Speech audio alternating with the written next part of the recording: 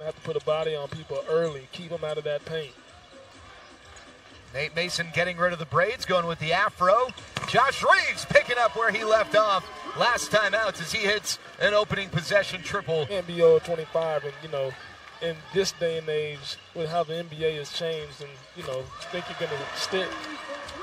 Sioux Falls, Fort Wayne, and then fell to Grand Rapids in overtime to wrap up their three-game swing.